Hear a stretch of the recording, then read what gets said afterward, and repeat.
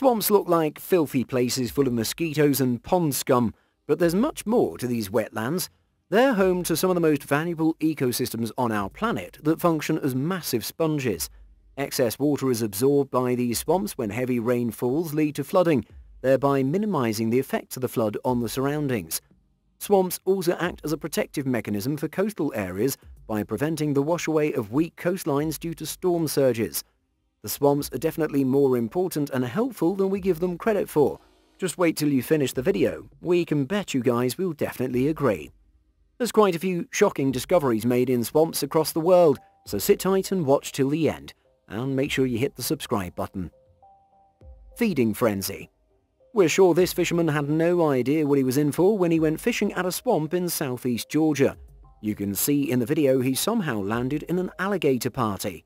The footage shows that they're jammed in a 30-foot wide canal. The heads of these alligators can be seen bobbing on the surface, while the ones in the background can be seen thrashing in the water, feasting on mudfish.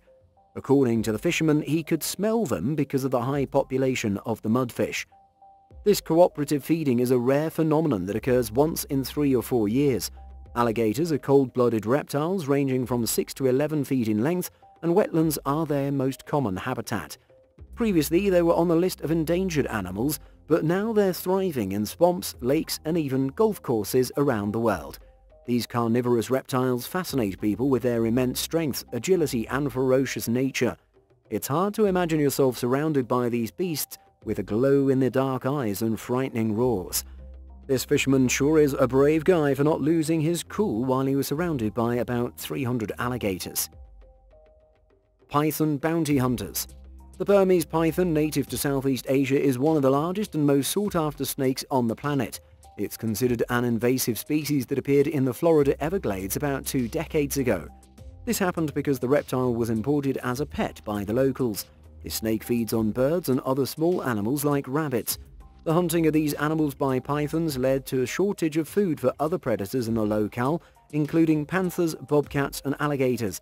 Their insatiable appetite has caused a severe decline in mammal populations in the area, including endangered species. That's why Florida had to employ twice the number of python hunters in hopes of taming this invader that has disrupted the balance of the natural food chain of these Everglades. About a thousand enthusiastic hunters have applied to the 25 new openings. These hunters are participants of the Python Elimination Program of Florida and have successfully removed about 2,500 Burmese pythons since 2017. These hunters are rewarded by bounties based on the length of the snake, with an extra $50 being given for every python that is 4 feet or longer.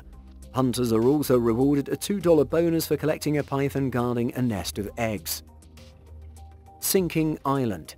This island has lost 98% of its land in the past 60 years. This is because of the constant coastal erosion and sea level rise. The 5 by 11 mile island has shrunk to a mere quarter by 2 miles. The Isle of Jean Charles is located off the coast of Louisiana and is actually sinking into the ocean. Many factors have contributed to this devastating fate. Dams and levees created throughout the Mississippi River disrupted the sediment flow that was preventing mass erosion. The oil industry in the vicinity created more deltas and channels in the wetlands, with the drilling hurting plant structures that acted as a natural barrier against erosion.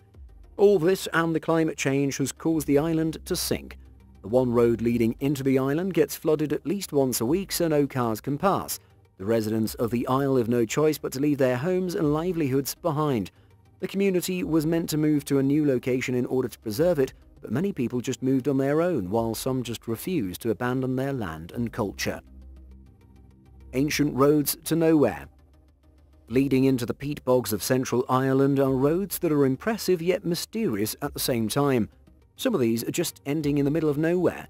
Several things have been recovered from the bogs over time including leather shoes, axe heads and bog butter.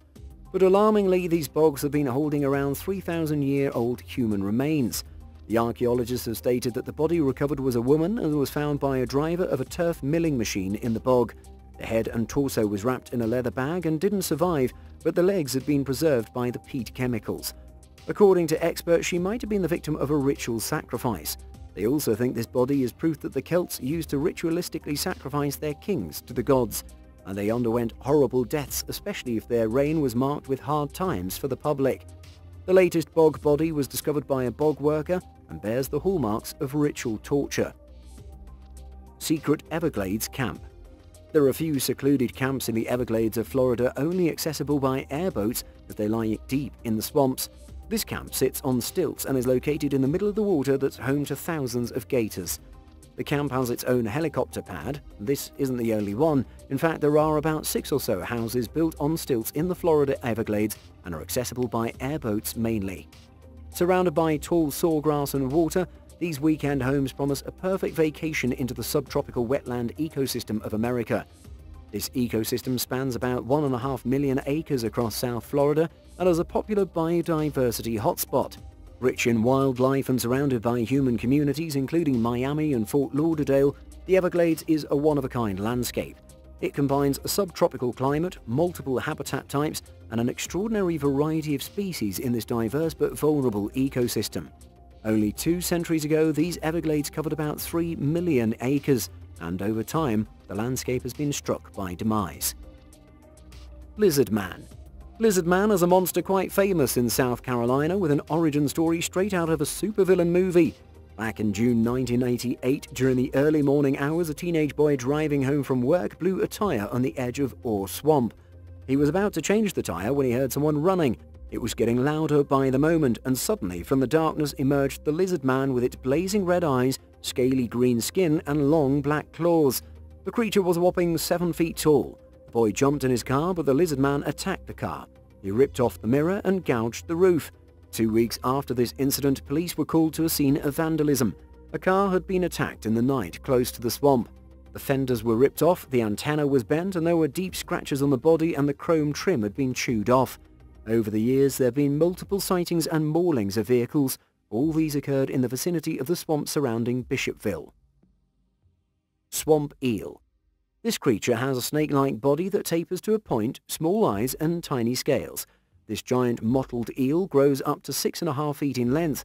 It can weigh up to 45 pounds. Its mottled coloration distinguishes it from other eel species, along with the unique arrangement of teeth and its long dorsal fin. The teeth in both jaws are arranged in two to three rows with one row having distinctly large teeth forming a cutting edge. The inner row has smaller teeth and are separated by the outer row by a toothless groove. Adult eels live in fresh water but they can sometimes migrate to the ocean. Their burrowing nature is aided by the mucus coating. These are secretive creatures usually active at night and are considered sluggish. It's native to warm freshwater habitats from oceanic islands from western Indian Ocean to as far as southern Japan. They show preference for shallow, sluggish standing or stagnant water with dense vegetation. Here it burrows in the mud bottoms. They can be found in ponds, canals, ditches, rice fields and swamps. They can survive in moist mud during dry seasons. Swamp Beast Crossing All kinds of wild beasts, including coyotes, panthers, alligators, bobcats and even deer, tend to wander across beneath the highway crossings while people just commute above them in their vehicles. In the past two years, endangered Florida panthers were killed by vehicle collisions in one month. Besides panthers, bears also suffer at the hands of the vicious traffic with around 20 bears dying every month on roads while traveling across the state in search of food and mates. We've all seen many other dead animals along the roads. Even people aren't safe from the menacing highway traffic. About 200 people are killed and more than 29,000 injured annually just in the US from cars colliding with animals. Thankfully, this is preventable. Safe crossings for wildlife are being built nowadays. These may take various forms from expanding culverts and special ledges to full-blown landscaped overpasses. These crossings are vital to wildlife conservation as they ensure connection between habitats and similar structures are useful for domestic animals too. After all, everyone deserves safe passage creepy canopy birds. These herons usually look like a typical bird with long legs, a long neck and beak. But beware, when it's time to feed, the jet black African bird tends to throw lethal shade. The herons you see aren't acting like a diva, they're in fact hunting for their next meal, and this phenomenon is called canopy feeding. The bird will tuck down its head while fishing and spread the wings around its body, therefore creating a sunshade. This tricks the fish into gathering at the spot, assuming they can relax in this nice and shady part of the water. But as soon as the fish moves in the canopy, the black heron scoops down and gulps the unsuspecting prey. That's why the bird is found on edges of freshwater ponds, marshes, river edges and lakes, as they're shallow with plenty of foolish fish. Most herons tend to hunt in the company of other fellow herons. On average, the group tends to consist of 50 individuals, but the largest flock in record is of 200. It's found across the sub-Saharan Africa, mainly in the eastern half of the continent and Madagascar. Bog jogging. This may be the next big sport. Bog is the layman's term mostly used to refer to wetlands or marginal environments. There's a lot of confusion about this. Technically, a bog is a type of wetland, but not any wetland or edge of a water body. The bog plants are the ones found exclusively in bogs and can only thrive in these environments. A bog is a freshwater environment with non-draining and nutrient-poor soils. They are the perfect place for bog jogging because of the peaty and spongy soil. The water is obtained from precipitation only. These form in existing depressions formed by glacial treatment, outwashes and glacial lake beds. These areas tend to have acidic and low nutrient conditions naturally. With time, plant matter grows, rainwater and snow melt accumulates to form a thick peaty bottom that makes the plants and organisms rise up. These are great for having fun and getting in some cardio. Toxic tar lakes. The UK government has been ignoring dozens of secret toxic pits near residential areas for a while now. An investigation report suggests that there are 34 acid tar lagoons recorded by councils across the country. Surprisingly, the government records say otherwise. According to them, there are only two of these in England. These tar lagoons are harmful corrosive swamps made of unmanaged dump mess from oil refineries, mainly from the 1960s and 70s. Abandoned quarries were allowed to be filled up with thousands of tons of toxic waste. This is a devastating threat to the environment and public health. The pit at Holbank reportedly contains 60,000 tons of hazardous waste that has been bubbling away for years now. Nothing can live in this horrifying dump. Any vegetation that survived is covered in oil and tar. The pit is less than 100 yards away from residences. Haunted Mansion. This three-story building is called the House in the Loire and is located in France. It seems like a flood swept it away, but reality is quite contrary. You'll find this tilted building walking along the Loire River. It's present right in the middle of the river and is known to have been deliberately placed here by a company specializing in salvaging wrecks. This was created as a part of an estuary art exhibition on the request of an artist. The exhibition invited artists around the globe to create large-scale pieces inspired by the Loire and the estuary close by. The abandoned house is a replica of a former inn. Initially, it was on the right bank, but was moved to the left one because of the capsizing. People are often creeped out by a light that turns on in one of the rooms at night. Chimpanzee Testing Island. It may seem like a movie plot, but it's not. Liberia, an African country, is home to this secret monkey island. It's deemed too dangerous for common public as it's protected by dozens of infected chimpanzees. These were released here from a controversial US virus testing laboratory. There's a lot of speculation and rumours about these chimps. These poor animals have survived decades of abuse, including intentional exposure to invasive strains of hepatitis B, river blindness, blood cleansing experiments, and more. They were taken prisoners from their habitat in the 1970s as a result of a shady deal with local poachers. The poachers had sold the baby chimpanzees to the research facility. This part of the wilderness is now home to 60 of these aggressively protective chimps. These are territorial animals and the locals are afraid of approaching them. Only a few locals have the courage to get close to this area, but that too while remaining in their boats. These chimpanzees throw mangoes at tourists who try to get closer to their home. Swamp Gas Motorcycle This man from the Netherlands has built a motorcycle that runs on methane harvested from roadside bogs. He calls it the Sloot motor. Sloot means ditch in the Dutch language.